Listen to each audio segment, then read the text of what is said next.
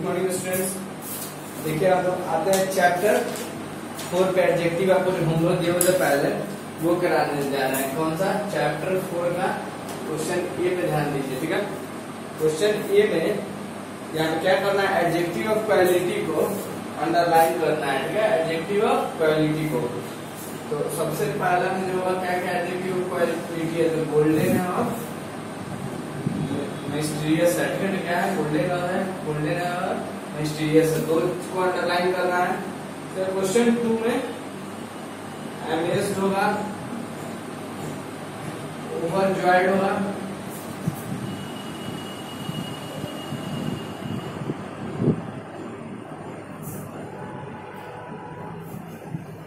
New होगा black होगा। White होगा एक्साइटिंग होगा। ये सब क्वेश्चन टू में हम लोग का। क्वेश्चन थ्री में वाइज होगा। क्वेश्चन फोर में अनहैप्पी होगा।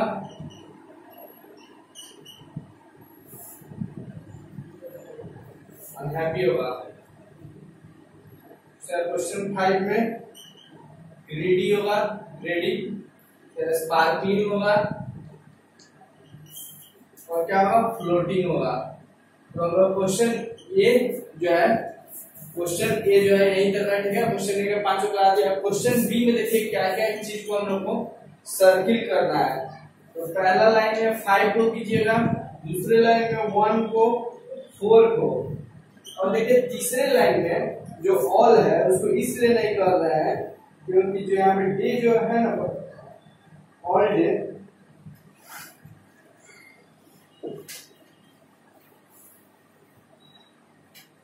यहाँ पे जानते हो यहाँ पे ऑल भी होगा।